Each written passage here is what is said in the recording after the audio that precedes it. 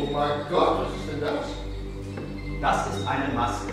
Peter und ich für Christine erworben haben. schon. Du, schön? Und gleichzeitig schön. Also das ist sicher kein Buch. Es kommt von weit, weit her. Wie aufregend. Eine Maske? Ja, Eine afrikanische Maske? Aus Liberia. Peter hatte dort zu tun. Ich war mit. Er hat den ganzen Tag gearbeitet und ich habe im Hotel gesessen und CNN geguckt. eine Stammesmaske. Ich war zu ängstlich, alleine rauszugehen. Das hat was. Die ist immerhin echt. Nicht das Zeug, das man am Flughafen angedreht kriegt. Die ist echt. Aber was hat sie für eine Bedeutung? Äh, hm? was sie für eine... Bedeutung? Ihre Geschichte, Funktion, ihre Vita? Oh, Zu welchem Stamm gehört sie? Sollte sie Regen herbeizaubern oder diejenigen, diejenigen verdammen, die, die gesündigt hatten? Ähm, Hat die Person, die sie trug, sich in Ekstase versetzt, um die Seele ihrer Vorfahren zu beschwören oder um eine bessere Ernte zu erbitten? also... Oder möglicherweise um Hunger und Tod über ihre Feinde zu bringen?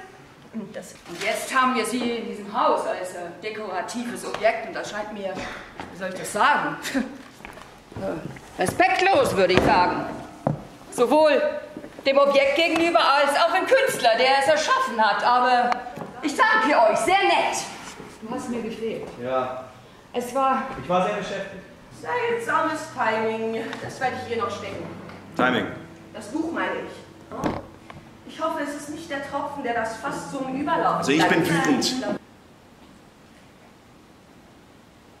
Ich hab Hunger. ich auch.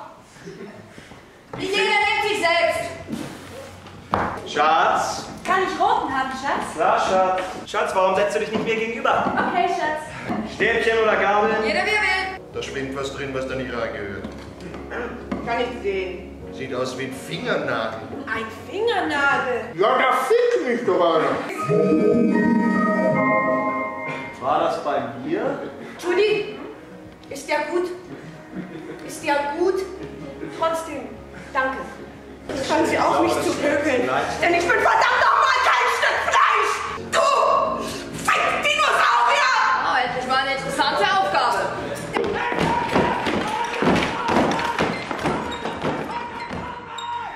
dazu.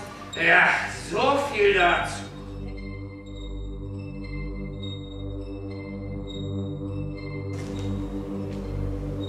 Wie hat sie das gemeint? Fick Dinosaurier.